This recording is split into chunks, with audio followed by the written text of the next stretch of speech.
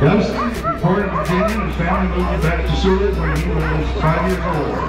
He is a third generation musher who grew up uh, helping his dad ranch, training his racing dogs. Measuring out the 20 four times in 2005, 30 seconds. His brother Dallas became the youngest musher in history to run the